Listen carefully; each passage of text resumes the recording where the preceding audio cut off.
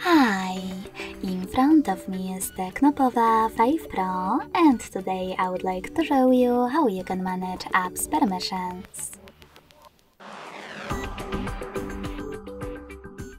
You need to begin by going into Devices Settings and scrolling down to access App Management. Then click on Permission Manager and tap on one of your device's features that you wish to manage, like camera. Then select one of those apps. I will go with Chrome and apply the best option for you. Allow only while using the app, ask every time, or don't allow.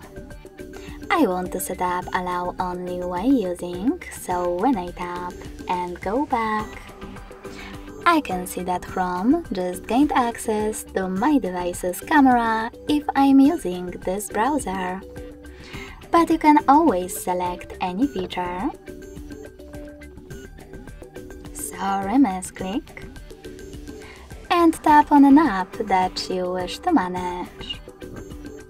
Then, instead of selecting one of those options, click on See All Permissions at the bottom and manage all of those only for chosen app the same way.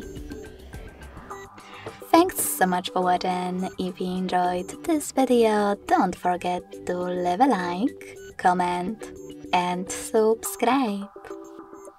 Bye!